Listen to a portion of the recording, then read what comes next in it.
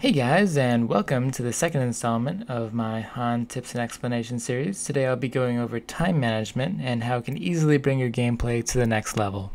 Now, I'm going to make a pretty bold statement here and say that time management is actually the most important intellectual skill in HoN.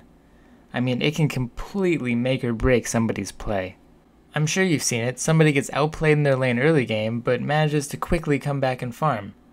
This is because they're making better use of their time than their opponents.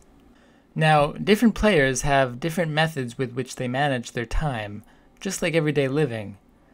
Everyone has their own way to manage time in a game, even if they aren't aware of it. I have my own method that I use, and I've really seen a lot of success with it. I even came up with a catchy name for it too a couple minutes ago. I call it the 60 second system. As you know, there are 60 seconds in one minute, and the way I like to manage my time in a game is to take it minute by minute. Before we get into that though, it's pretty important to know exactly what you're going to be filling your time up with. Sure, you can say, I need to manage my time, but what specifically are you doing that you need to manage exactly? Oh, HoN is a really complex game and there are so many things you can do at any particular moment and all this stuff. Nah, nah, nah, nah. Let's keep this simple. In my mind, there are only three things you can be doing at any particular moment in a HoN game.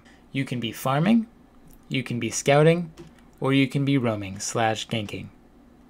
I guess you can throw another category in for miscellaneous stuff like buying items or bottling runes or whatever, but those are the three primary things you can do. Farm, scout, roam.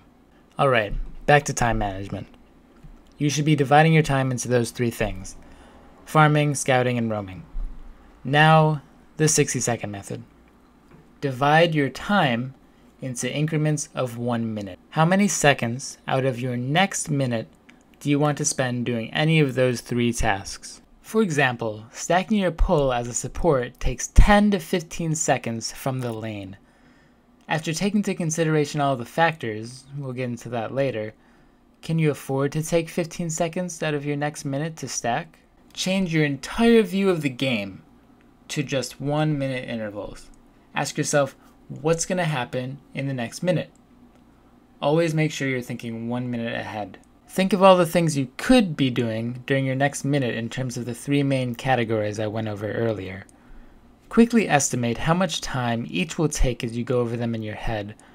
Prioritize which things you think are the most important and throw away all the things you could be doing that will take too much of your time. At the end of that quick process, you'll have a complete and efficient schedule that you can follow for your next minute. Now, while you're executing that schedule, repeat the process. It's that simple. There's really nothing else to it. The only thing you need now is more practice. To help you understand what I mean, let me give you an example. It's going to be me in an early game support situation.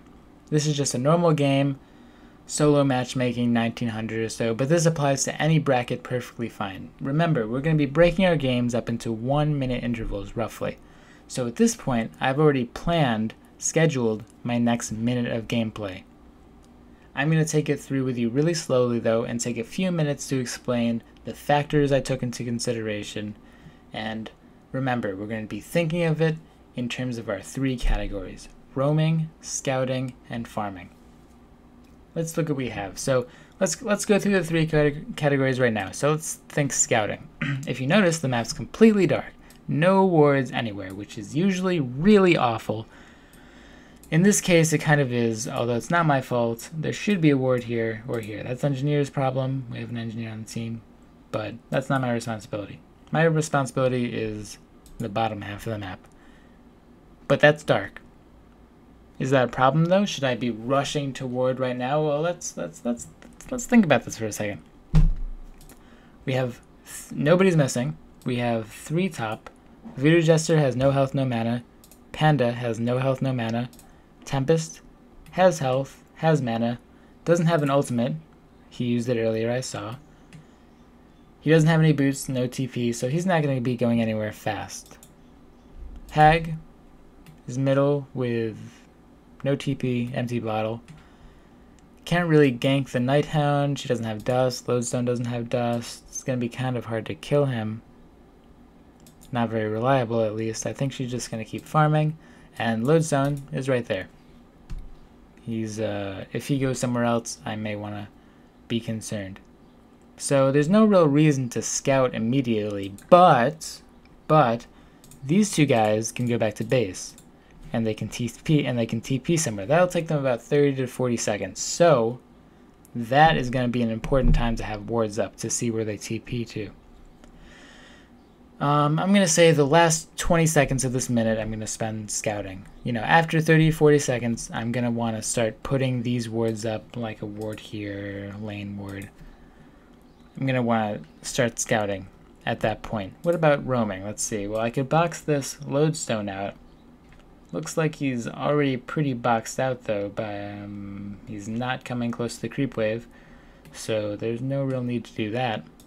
I could come mid, can't set up a kill though because Hag's just gonna blink away. Can't bait the pebbles because Hag's not gonna try to go on a pebbles, and it's not like I can harass her or help the pebbles farm either because I'm only level 4, I can't out harass a level 7 Hag. Um, I could go top, but they're both dead and I can't go top anyway because I don't have a TP and I don't have gold. So roaming's out the window. I said I'll probably start scouting after like 30 to 40 seconds, so the only thing left to do before that time is the default farming, and I'm gonna do that. So let's play back this minute and see how my schedule works out and how closely I follow it. So I'm gonna be farming here, and uh, to be super fun. Nighthound's to be farming. Now, as I'm pulling, I'm thinking about what I'm explaining to you right now. I'm not just being, oh, look, look how pretty the Minotaur is. Let's look at myself pull. No, no, I'm going to be looking around the map. I'm going to be looking top. I'm going to be looking mid. I'm going to see, because I'm looking top, I'm going to see Panda go back to base right now. So he's gone. Voodoo Jester's probably around here, because he went to base a lot earlier. Tempest is missing. He's in the jungle somewhere. I know there's no creep camp here, so he's farming right here. Hag's missing. It's kind of shady. Lodestone's missing. Notice, I could keep farming this. I could definitely wipe this creep camp if I use my W on it, but I'm not. 30 to 40 seconds are up. I need to go get these wards down. Voodoo Jester could be TPing. You see the lodestone, he's gone. Need to get a ward up mid. Need to protect this Pebbles. He needs to get his portal key. So I'm going to run into the Hag Ultimate, put a ward down, and BAM! How perfect was that? Let's let me let me show you what I'm talking about. I'm gonna come over here now. Yeah, I misplay runs the haggle Ultimate, but the second I put the ward down, look, I put the ward down, and BAM! Voodoo Jester walks into its sight range. And um, that's just timing. And as you can see, me thinking about a schedule, following it, saying, okay, 30 to 40 seconds, I need to get this ward down, I need to get other wards down so I can see things, worked out. And I'm going to see this voodoo jester come up. Perfect timing. And we're going to get away safely. I am sorry that I could only give you one example for this video, but just because I was playing support, doesn't mean that you can't apply the same logic to any role or situation. The key is thinking about your three major categories, determining which ones make the most sense to prioritize, and establishing a sort of schedule in your head for the next minute of the game. If you have any other topics you'd be interested in hearing about, or if you would like to see me go over more time management scenarios like the one in this video, let me know in the comments below. Give a thumbs up if you enjoyed, have a nice day, and thanks for watching.